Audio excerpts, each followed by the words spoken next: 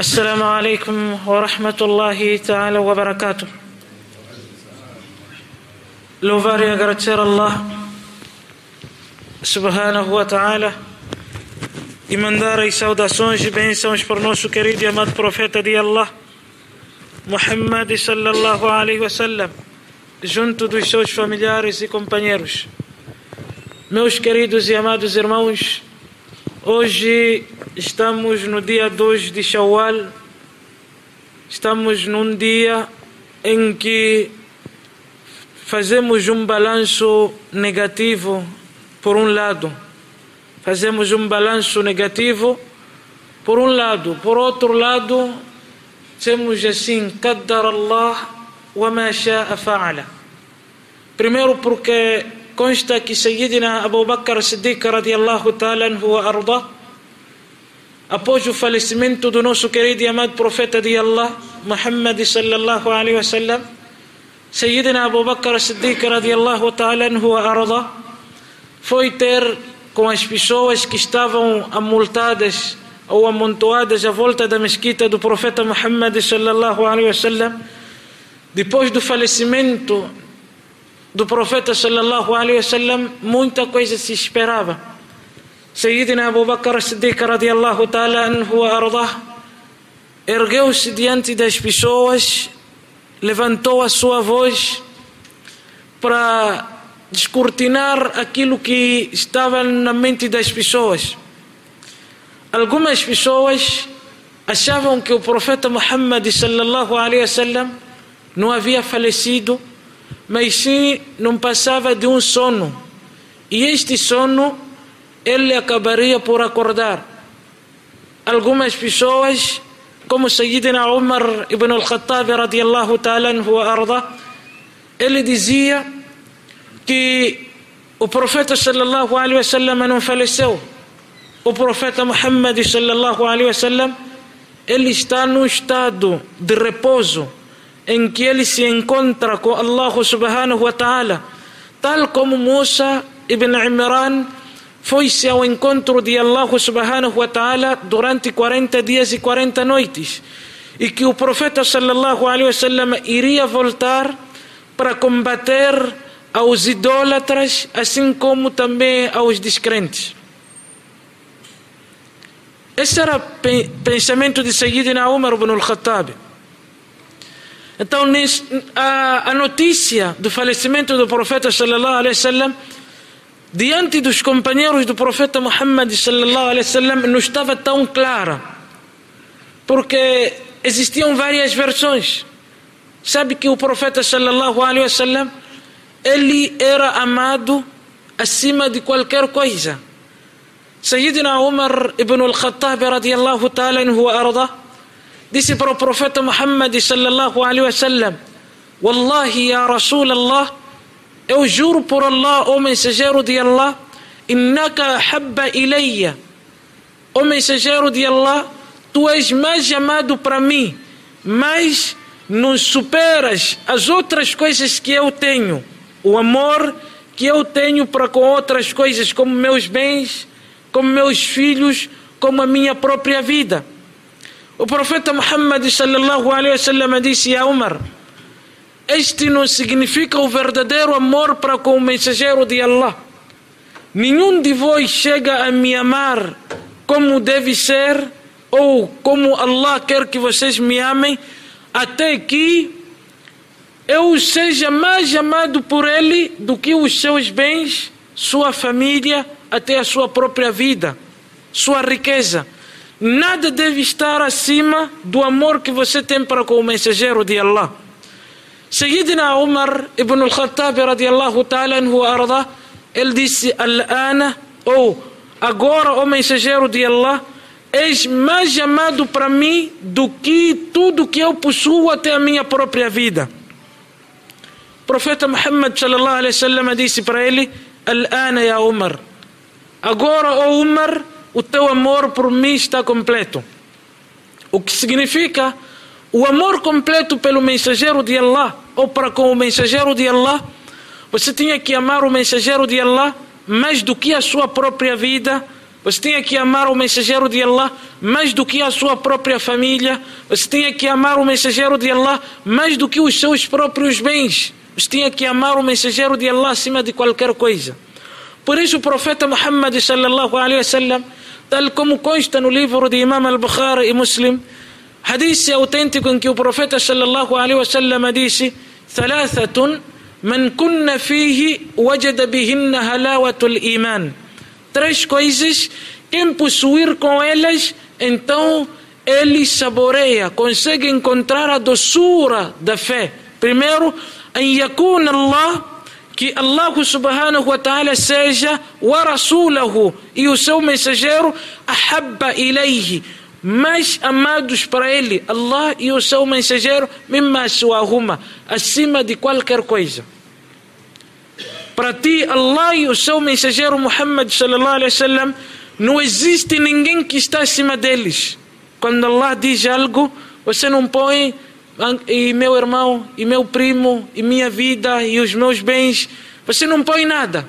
Allah falou, pronto, já é isso mesmo.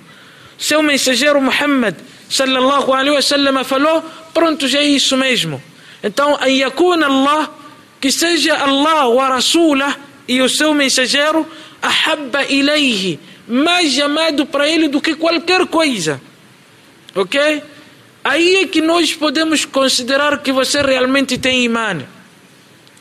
Você não é capaz de ter imã verdadeiro se você não pôr Allah e o seu mensageiro acima de qualquer coisa. Não é possível. Para você ter um verdadeiro imã, você tem que pôr Allah e o seu mensageiro acima de qualquer coisa. E esses crentes muçulmanos, companheiros de Rasulullah sallallahu alaihi wasallam, haviam posto Allah e o seu mensageiro acima de qualquer coisa. Não existia nada para eles superior do que Allah. Não existia nada para eles mais grande que estivesse acima de Allah do que o amor que eles tinham para o mensageiro de Allah. E naquele dia a única notícia que eles não queriam era a notícia do falecimento do mensageiro de Allah, Muhammad sallallahu alaihi wasallam. Eles não queriam que alguém lhe dissesse que o mensageiro de Allah faleceu. E Sayyidina Umar, como disse o narrador do hadith, Abu Sa'id al-Khuduri, radiallahu ta'ala anhu arda, disse assim: لقد من الله علي الله سبحانه وتعالى لقد من الله علينا بعمر لقد من الله علينا بأبي بكر الصديق رضي الله تعالى عنه وأرضاه naquele dia Allah subhanahu wa ta'ala nos deu um valor muito enorme. Allah nos concedeu uma grande graça, uma grande dádiva em trazer Abu Bakr naquele dia. Se Allah não trouxesse Abu Bakr naquele dia, estaríamos todos nós dizimados. Não sabíamos o que iria acontecer. No dia do falecimento do mensageiro de Allah, não existia ninguém que falava com ninguém. Não existia cabeça que pensava. Você tem um problema hoje, um problema, acidente. Você tem um problema hoje, perder dinheiro, perder negócio. O que, que você pensa na cabeça? Você pensa o quê? O que, que pode trazer a tua inteligência? Você consegue ser calmo? Você perdeu um negócio um negócio que você havia depositado toda a sua confiança, um negócio de milhões, que você ia ganhar milhões, mas aquele negócio você perdeu. Você consegue dormir, você consegue falar, você consegue ter raciocínio, você consegue raciocinar. O teu juízo está no lugar desse negócio. Perdeu tua esposa, perdeu teu filho, perdeu tua filha. Você consegue raciocinar? Então, aqueles tinham perdido a pessoas que eles amavam mais do que isso tudo. Tinham perdido a pessoa que eles amavam do que qualquer negócio. Haviam perdido a pessoa que eles amavam acima de qualquer negócio ou qualquer pessoa ou qualquer família. Rasulullah. Então não estavam a ver nada mais à frente deles. À frente deles não existia mais nada. Não existia alguém que pudesse fazer salat e ter êxito. Ninguém conseguia fazer salat e conseguir se concentrar no salat. Sem pensar, a pessoa que nos ensinava esse salat está onde? Bilal, radiallahu ta'ala anhu arda, não conseguia fazer adhan. Dizer, porque quando ele fazia adhan, fazia, Ashhadu anna Muhammad Rasulullah. أشهد أن محمد رسول الله. إلا بنتافا وبروفيت محمد. فزي أشهد أن محمد رسول الله. أشهد أن محمد رسول الله. مشترافش بيسوش كي أو تستمون كيست محمد صلى الله عليه وسلم من سجير دي الله. إن كل دية نمتين محمد فرنتي ديلي. إرو دية كل نكون سجيا فزير وزان. زير أشهد أن محمد رسول الله. نكون سجيو. Acabou por desmaiar até que vieram outras pessoas para completar o seu azan naquele dia estava-se à espera que era desgraça para o Islã. Algumas pessoas já tinham dito a desgraça já, já bateu na nossa porta. Os munáfiques, os munáfiques, munáfiques são hipócritas. Os hipócritas, o profeta conhecia-os, recebia revelação da parte de Allah que fulano X, cuidado, é um hipócrita. Fulano X, cuidado, é um hipócrita. Fulano X, cuidado, é um hipócrita. Naquele dia não estava mensageiro de Allah. Sallallahu alaihi wasallam. Os kafirs, os inimigos do Islã, que tinham a sua força para combater o Islã. O Islã não tinha chegado quase num terço do mundo. O Islã estava em algumas localidades. O Islã estava em algumas partes das Arábias. Não estava onde você está a ver hoje que o Islã chegou. O Islã não estava abrangente na Síria, não tinha abrangido toda a Síria. O Islã não tinha chegado na Pérsia. O Islã ainda precisava de chegar na África quase por, total, por completo. O Islã era conhecido na Etiópia, na Abissínia, mas não era conhecida no Sudão, na Quênia, no outro lado. O Islã estava assim. E a pessoa que era nosso líder já não está. Por isso que Sayyidina Omar disse: não, esse não, não, não morreu. Não é possível Allah levar ele agora. Está a imaginar você na tua casa. Está a construir uma casa para albergar a sua família. Está a tentar ajudar, está a tentar por ali, está a tentar por ali. E logo, antes da casa completar-se, você morre. Você está a fazer um trabalho você está a trabalhar para sustentar a tua família. É o único que leva matabicho, almoço, jantar.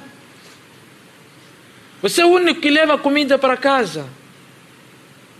Sua esposa para vestir é você. Seu filho para comer é você. Tudo o que acontece lá é você. E você no meio do mês, pá, morre. Está a imaginar o que é que, o que, é que paira na cabeça das pessoas? da mulher, o que, é que vai ser agora de mim? A pessoa que me sustentava já foi embora. A pessoa que pagava a renda da casa já foi embora. A pessoa que fazia e fazia já foi embora.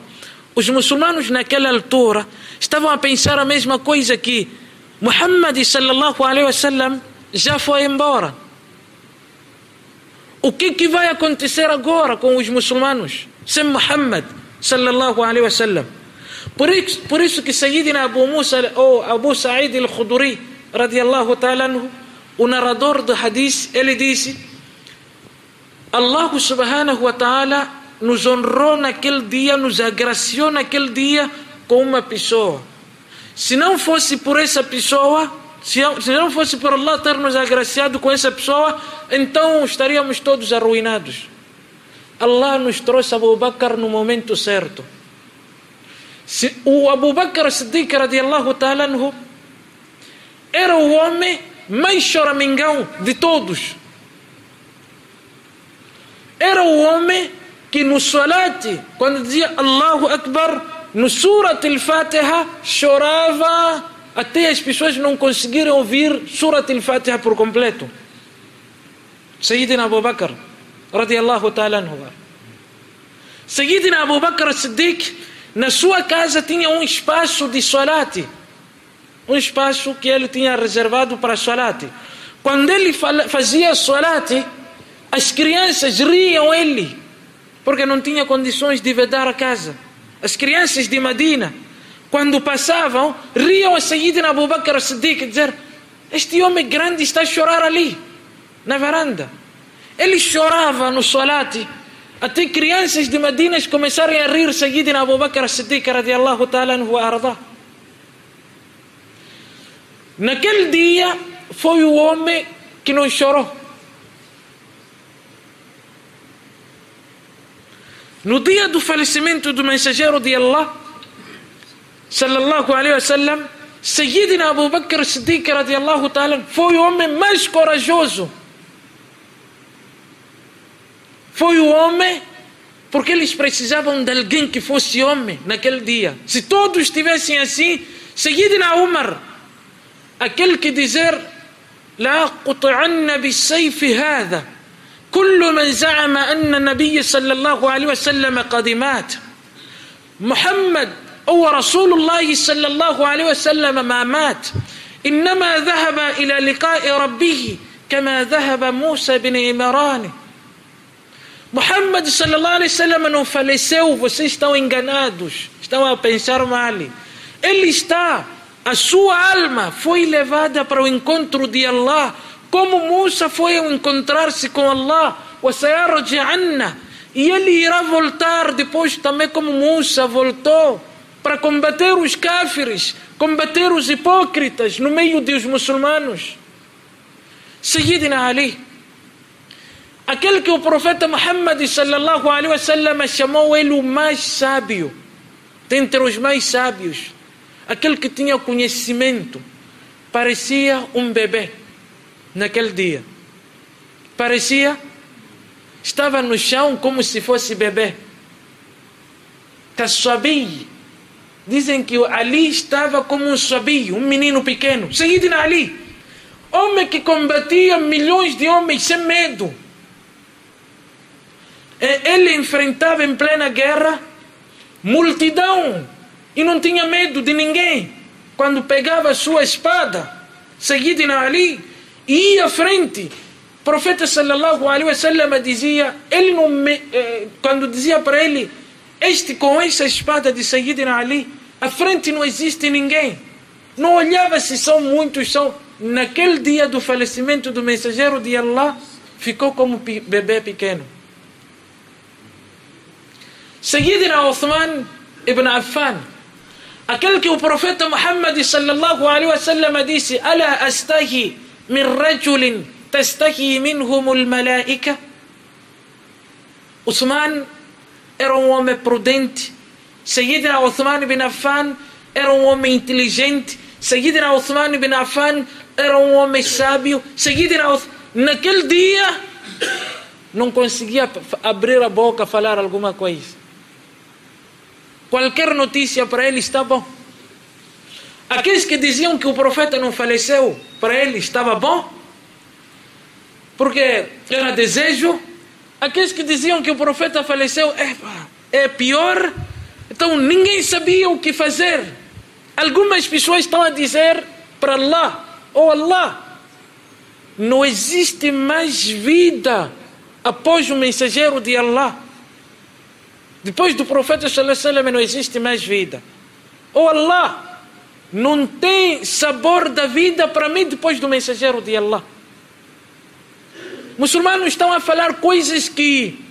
Aqil. Estou a dizer, você perde um negócio de milhões, você fica no chão, não dorme, pode suicidar-se. Você perde teu pai, tua filha, teu primo. Você não consegue nem falar nada, nem apetite tem de comer. Isso tudo que te dói você eles amavam mais, depois, acima disso tudo, Muhammad sallallahu alaihi wasallam. Não existia algo que eles amavam mais do que riqueza, do que, do que família, acima do profeta sallallahu alaihi wasallam. E naquele dia, o profeta não está. Acordaram, não está Rasulullah. Então a situação estava descontrolada. Podia acontecer, por isso Sayyidina Abu Musa, Abu Musa, Abu Sa'id al-Khudri disse: "Nahlika fi laula amanna Allah alayna bi Abi Bakr." Nuhlika fihi laula Bakr. Naquele dia estávamos prestes a entrar na ruína se não fosse Abu Bakr. O caminho que estivemos a levar naquele dia era um caminho para si, para a ruína. Se não viesse a seguir na Abu Bakr, dizer, ei pessoal, pegar o comboio, como homem levar para frente. Todos eles eram fortes. Um Aisha, radiallahu ta'ala anha wa foi queixar para Rasulullah sallallahu alaihi wasallam disse: "Ya Rasulullah, atamur Abu Bakr an tusalli bin nas?" O mensageiro de Allah, ordenas para que Abu Bakr, meu pai, dirija a pessoa para as pessoas. Ya Rasulullah, innahu qalbun layyin. Ya Rasulullah, Sayyidina Abu Bakr é um coração mole. Quando ele estiver a rezar no Salati, ele irá fazer tashwish para as pessoas e as pessoas não vão conseguir saber nada do salat. Suratul Fatiha, Sayyidina Abu Bakr, Allahu Akbar, Bismillahirrahmanirrahim. Já começava a chorar. Sayyidina Abu Bakr. Suratul Fatiha não aguentava acabar todo, sem chorar. E Ummi Aisha está dizer, Ya Rasulullah, estás a pôr Sayyidina Abu Bakr para dirigir o salat. Mas Rasulullah sabia quem é que ele estava a preparar Sabia quem é que ele estava a preparar. Ele disse, Ya Aisha, ó oh Aisha, Inna al-Qur'ana nuzla bil khusn. Saiba que o Alcorão foi revelado em momentos de tristeza. فإذا قرأتموه quando estiverem a recitar o Corão, fabuku, chore. فإن لم تبكوا فتباكوا. Se não puderem chorar, então façam que estão a chorar. Wallahi, جور بر الله لو وزن إيمان أبي بكر ووزن إيمان أمة لرجح إيمان أبي بكر. جور بر الله حديث نمسند دي إمام الترمذي. إيش أنا رسو كيف لي؟ استنوا ليفر دي إمام الترمذي. ما شيخ ألبان كونسيدرو دي كورنتي فراكا مش كونسيدرا سي أوتنتيك أنا فيرسون دي سيدنا عمر بن الخطاب رضي الله تعالى عنه وأرضاه. كوندي ديسي لليلة من مع ليلة مع أبي بكر خير من آل عمر خير من عمر وآل عمر. أما نويتكم أبو بكر أمليور دوكي عمر إتودا فاميليا دي عمر. أما نويتكم أبو بكر أمليور دوكي عمر إتودا سوا فاميليا. يومر ديزيا لو وزن إيمان أبي بكر se forem a medir o imã de Sayyidina Abu Bakr e medir o imã de todos nós, o imã de Abu Bakr estaria por cima. Por isso que este hadith, as palavras do Imam At-Tirmidhi, rahmahullah ta'ala, fazem-se sentir por causa das palavras de quem? Sayyidina Umar ibn al-Khattab radiallahu ta'ala que fala acerca de Sayyidina Abu Bakr Siddiq radiallahu ta'ala. E ele disse para sua filha que se porem o imã, numa, o imã de Abu Bakr numa balança, o imã de todos os muçulmanos, até no dia de Qiyamah, numa outra balança, vai pesar o imã de quem? De Sayyidina Abu Bakr. Mas era choramingão. Naquele dia em que todos estavam a chorar, ele era o único que não chorou. O único momento que, profeta, que Sayyidina Abu Bakr chorou, o único momento após o falecimento de Rasulullah sallallahu alaihi wasallam, o único momento que ele chorou foi quando ele entrou no quarto de Rasulullah. Quando ele cobriu o pano e viu o rosto do mensageiro de Allah. E ele disse: Ya Khalila, as palavras encontram-se no, no, no livro de Imam الطبراني também إمام الحيثمي يوتروج نارادورج دي حديث إن سبيسيال إمام أحمد إبن حنبل. كان سيدنا أبي بكر شرافة ديزيا وخليلا وحبيبا وخليلا وخبيبا وخليلا وخبيبا أو perdi meu amigo أو perdi o meu querido أو perdi o meu, meu amado أو perdi o meu querido estava a chorar Dizer, eu já, já não sou alguém sem ninguém. Foi o único momento que Sayyidina Abu Bakr Siddiq derramou as suas lágrimas. E quando beijou o rosto sagrado do profeta Muhammad sallallahu alaihi wasallam e ele disse: "Amma al-maut allati katabahu Allah alayk faqad faqad adataha wallahi la alama alayka ba'da al-maut." O mensageiro de Allah, a morte que Allah prescreveu para ti, hoje você saboreou ela. Não existe mais dor da morte depois desse dia. Hoje não irei saber mais acerca de ti. Hoje não irei saber mais onde estás. Não irei saber mais. Esse momento é o momento que Sayyidina Abu Bakr Siddiq radiallahu ta'ala nos chorou. Não existe mais.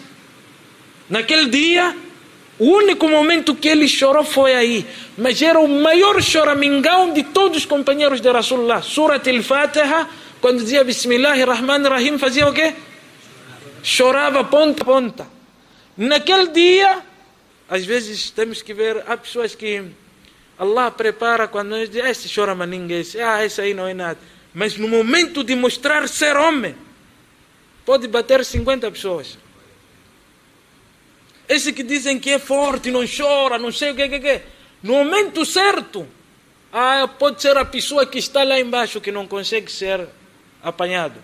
Esse que chora muito hoje, que vocês dizem, ah, aquele é matreco, aquele parece mulher, estou toda hora a chorar. Todo... Na hora da verdade, esse mesmo aí pode vos valer muito. Seguidina Abu Bakr, crianças lhe riam. Esse papai chora muito, esse. Chora toda hora, só está a chorar. Naquele dia que todas as crianças não falavam, foi Sayyidina Abu Bakr, radiallahu ta'ala, no que conduziu a nós até hoje. Nós estamos bem hoje de Sayyidina Abu Bakr. Quem está a dizer isso não sou eu, é companheiro dele. Abu Sa'id al-Khudri dizia, naquele dia do falecimento, estávamos a ir assim, para a cova.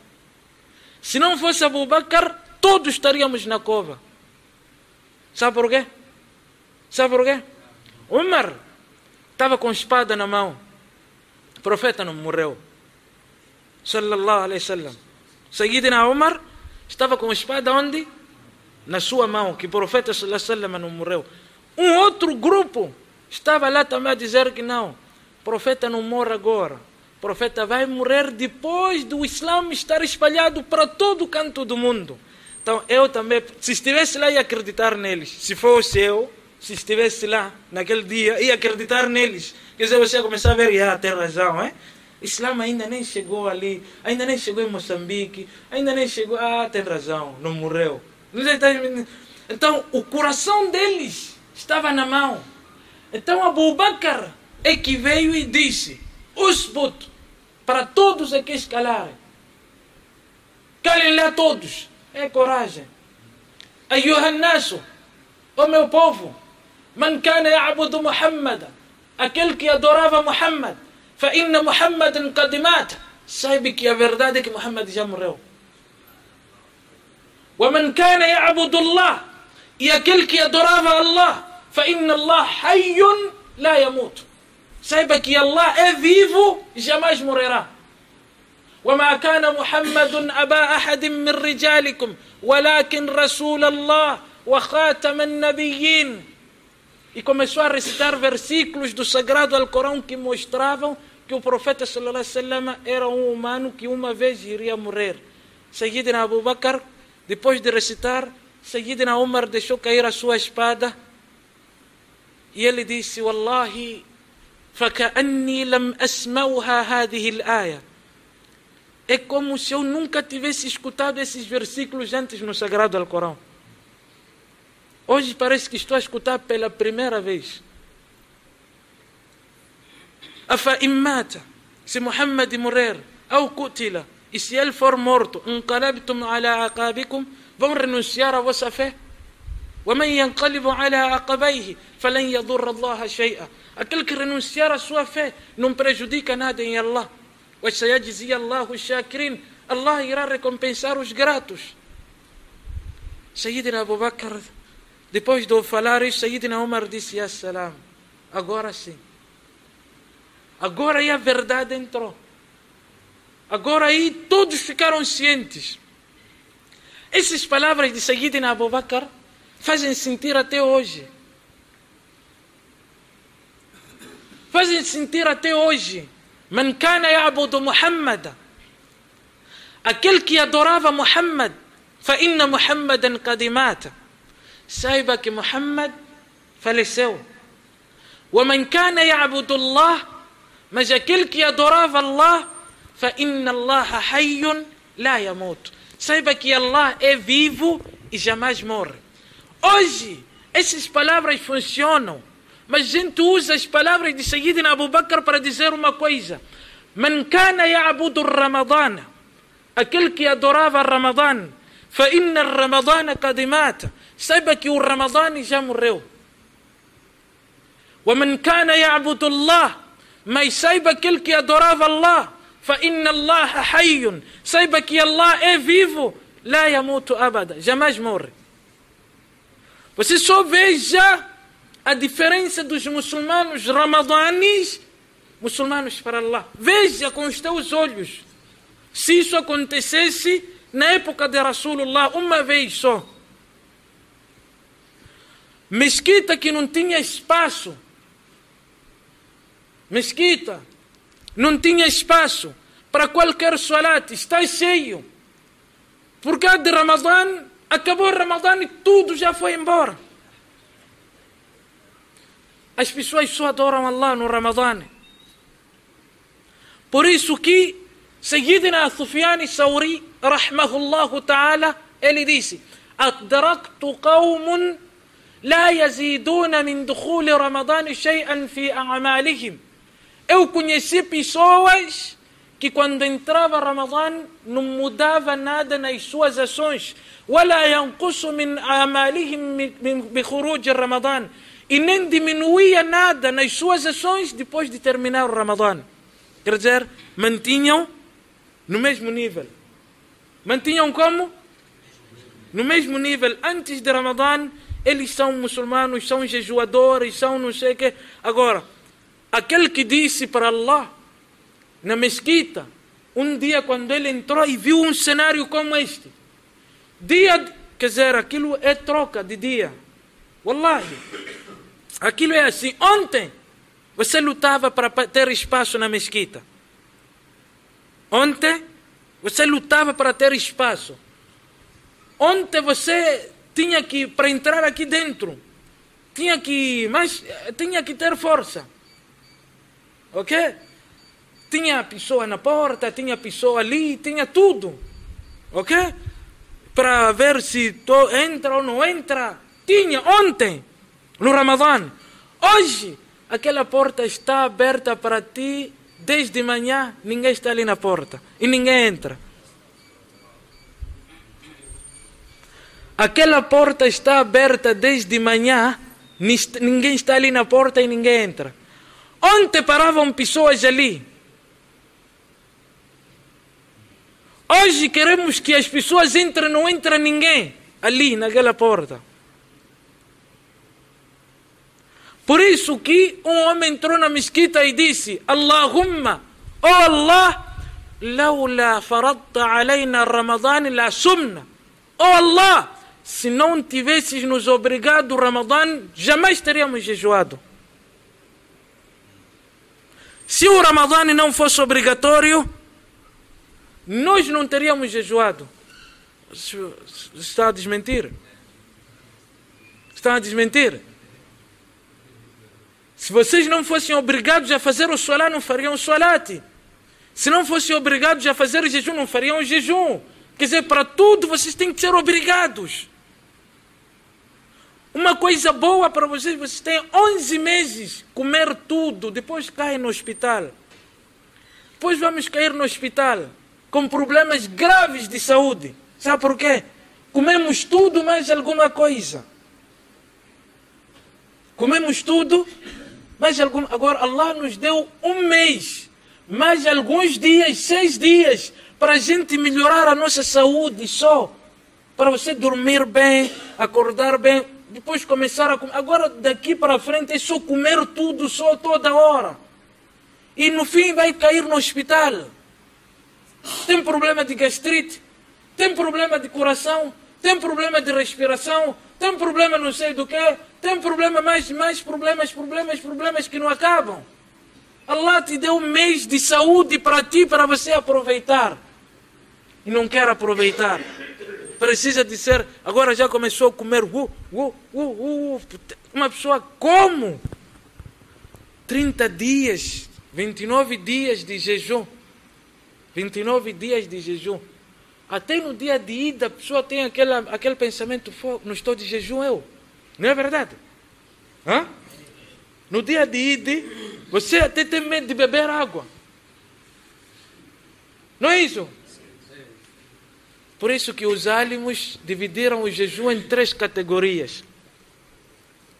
Dividiram o jejum em quantas categorias? Quantas categorias?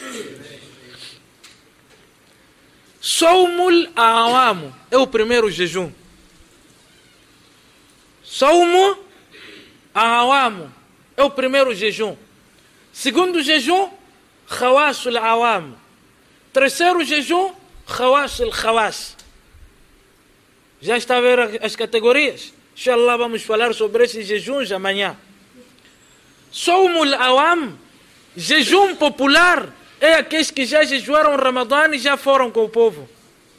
Chama-se jejum o quê? Chama-se jejum o quê? Agawamo. Agawamo significa popular. Jejum do povo. Aqueles que fazem trabalho do povo. Os álimos dividem jejum em quantas categorias? Três. Primeiro jejum. Jejum awam. Soumul awam. Jejum popular. Sabe o que significa jejum popular? Acordou, primeiro faz intenção de não comer, não beber, não manter as relações sexuais desde o romper da aurora até o pôr do sol. Só. 30 dias só fazia isso. Não fazia suarate, não tinha nada a ver, zakat, não tinha nada. Só vida dele era essa só. Não comer, não beber. Acabou, acabou com os povos. O povo, aquilo que vocês estavam a ver aqui é povo. É o quê? É povo, já foi. Aquele chama-se jejum popular. Já foi. Segundo jejum chama-se o quê? Khawasul Awam. Chama-se o quê? Khawasul Awam. É um, tem particularidade um pouco diferente daquele que é popular. Por quê? Porque as pessoas sentam fazem intenção de não comer e beber desde o romper da aurora até o pôr do sol, não beber, não manter, mas também fazem salat, mas também leem o Coran, mas também fazem zikr, mas também se preocupam com outra coisa, jejum de Shawwal, né? Fazem até no jejum de Shawwal pelo menos. Esses são mais ou menos. São chamados o quê? São chamados o quê? Mais ou menos. Nós somos o quê? Mais ou menos. Somos conhecidos como quê? Os mais ou menos, não os bons. Por quê? Fizemos o nosso jejum, fazíamos tarawih, fazíamos não sei o que, que e no fim, estamos aqui um pouco com o shawal, depois de shawal, fum, também vamos bazar.